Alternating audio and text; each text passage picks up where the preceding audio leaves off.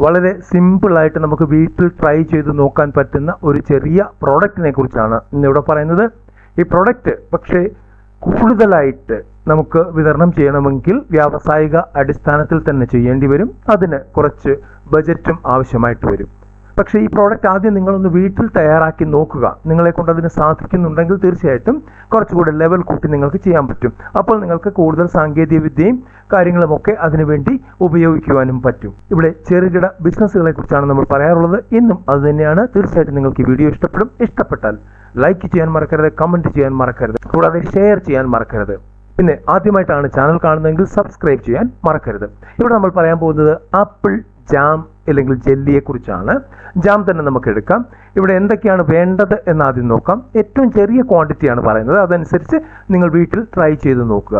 App വേണം നമുക്ക് ഒരു കിലോഗ്രാം പഞ്ചസാര ഒരു കിലോഗ്രാം വേണം. സിട്രിക് ആസിഡ് വേണം മൂന്ന് ഗ്രാം പിന്നെ വെള്ളമാണ് വേണ്ടത് ഒരു ലിറ്റർ ഇനി എന്താണ് ചെയ്യേണ്ടത് എന്ന് നോക്കാം.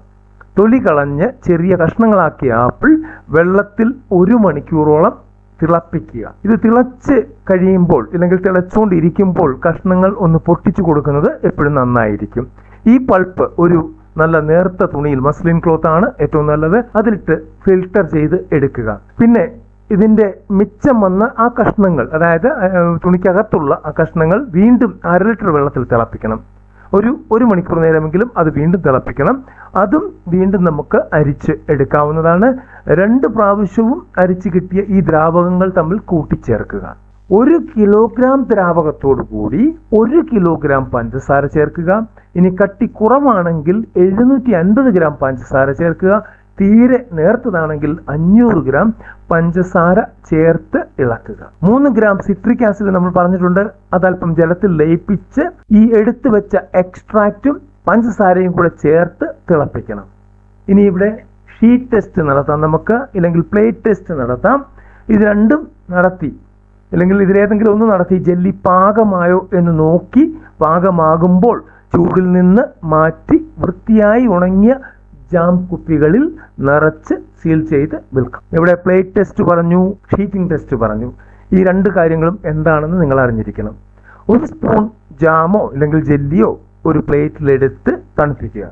തണുക്കുമ്പോൾ ജലം വേർതിരിയുന്നില്ല എങ്കിൽ അത് കുപ്പിയിലാക്കാൻ പാകമായി എന്ന് കരുതാം. അതാണ് നമ്മളുടെ പ്ലേറ്റ് ടെസ്റ്റ് ഇനി ഷീറ്റിംഗ് ടെസ്റ്റ് അതെന്താണെന്ന് നോക്കാം. ഒരു സ്പൂണിൽ അല്പം ജാമോ ജെല്ലിയോ എടുത്ത് അത് താഴേക്ക് വീഴ്ത്തിയാൽ ഷീറ്റ് രൂപത്തിലോ ഫ്ലേക്ക് രൂപത്തിലോ അതായത് നമ്മുടെ ഫ്ലേക്സ് ഇല്ലേ ശൽക്കങ്ങൾ ആ രൂപത്തിലോ വീഴുന്നുവെങ്കിൽ അത് ഉറച്ചു പാകമായി എന്ന് കരുതാം ഇതൊക്കെ നമുക്ക് നോർമലായിട്ട് ചെയ്യാവുന്ന കാര്യമേ ഉള്ളൂ. ഇനി ഒരു ടെസ്റ്റ് കൂടെ വേണമെങ്കിൽ നിങ്ങൾക്ക് ചെയ്യാൻ ടംബ്ലർ ടെസ്റ്റ് ആണ് അത്. ജാമോ ജെല്ലിയോ നിർമ്മിക്കുമ്പോൾ അതിന്റെ പാകം അറിയുവാൻ അല്പമെടുത്ത് ഒരു ഗ്ലാസ് ടംബ്ലറിലുള്ള വെള്ളത്തിലിടുക.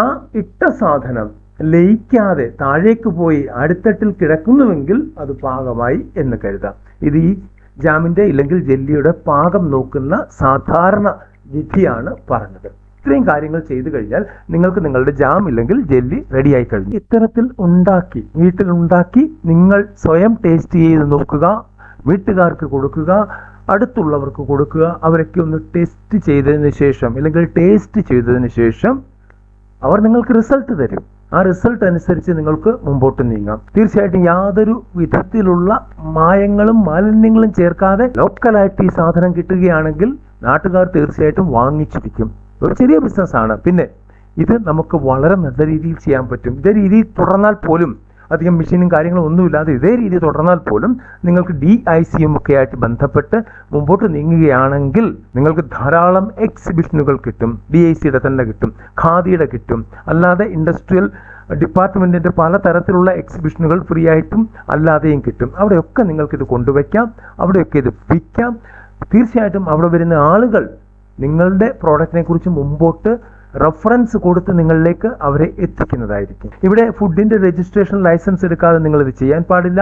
അതെങ്ങനെയാണ് എടുക്കേണ്ടത്? എന്തൊക്കെ ഡീറ്റെയിൽസ് ആണ് അതിന്റേത് എന്ന് നമ്മൾ വീഡിയോ ചെയ്തിട്ടുണ്ട്. നമ്മളുടെ ചാനൽ കയറി F S S A I എന്നോ F O S C O S FoSCoS എന്നോ ടൈപ്പ് ചെയ്ത് സെർച്ച് ചെയ്താൽ ആ വീഡിയോകൾ നിങ്ങൾക്ക് ലഭ്യമാകുന്നതാണ്. അടുത്തൊരു വീഡിയോയിൽ കാണുന്നവരെ നന്ദി നമസ്കാരം.